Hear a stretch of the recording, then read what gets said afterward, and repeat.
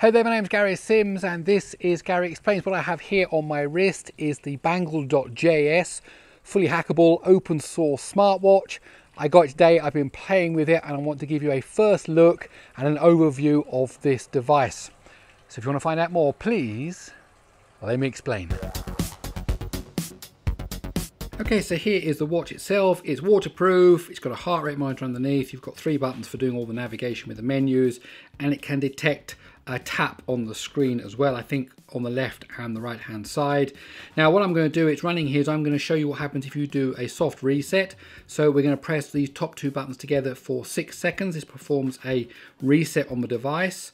And now we can see what it's like to see it booting up and then it will come up with uh, no time because the time has gone from the reset and that actually is a good chance to show you how you connect to the phone. Now here I've got a smartphone, Android smartphone and I've opened a web browser to banglejs.com slash apps. And from within the web browser, you don't need to install an app from the app store, from within the web browser you can connect to it over Bluetooth. That's what I'm doing now. I'm saying I want to connect to that bangle over Bluetooth. And then they've got a really quick function. You can go to about and you can say set the time. And so now the time has been set. And then when we press the top button here, we can see the time has been correctly set now, as well as the date. It's a really quick way to get the date and time set correctly and also shows you how you talk between a web browser and the uh, smartwatch. So the way it works is this, when the smartwatch is not on, you press the top button here to activate it, you press the middle button to get a menu, and you can kind of go up and down inside the menu here. So for example, we can go into settings, and then we can see the different things we can do in settings, like turn the Bluetooth on and off, how long do we want the display to be on before it times out, and all this kind of stuff. Lots of things to play around with in there, great stuff. Uh, and basically, uh, you can then install other apps. So you kind of get a default one, like you get the alarms, for example, but you can install other apps from this uh, website. So if we go over to the library here, for example, let's install something that's um, pretty easy to see. And there's one here called um, Bold Clock. There is an analog clock rather than digital clock. You just hit the upload button and it goes over onto the device. Only takes a few seconds because this is JavaScript. Now, this is the main point of all of this is that you can write your own apps with JavaScript, which means it's relatively easy to do. You don't have to have a C compiler and then compile it and link it and have the SDK. Just write it in JavaScript and then copy it over onto the phone. So now we can see here, it says you have to press this button, uh, I think for three seconds when you, there you go. And now I've got an analog clock up there.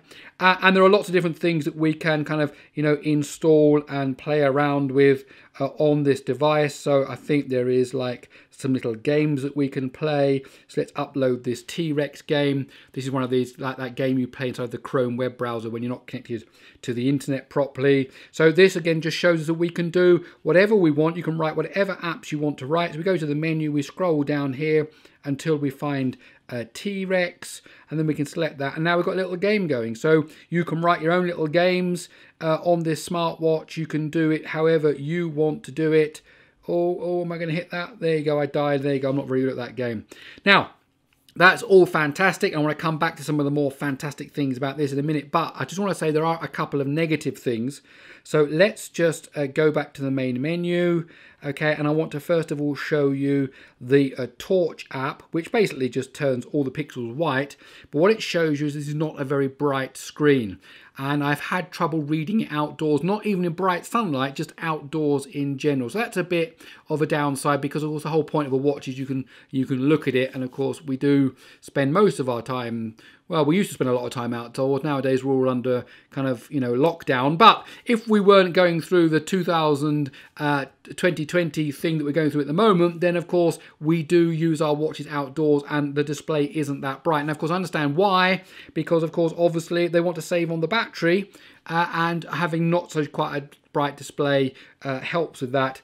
I'm just letting you know that. Doesn't affect the development, doesn't affect the fun you can have with this in terms of uh, writing your own apps for it and things, but it does affect its ability to be actually a good watch when you're outside. Now the other thing is, again, another go to another uh, one here is I could not get there you go, GPS info. I could not get the GPS to work, whether I was indoors or outdoors.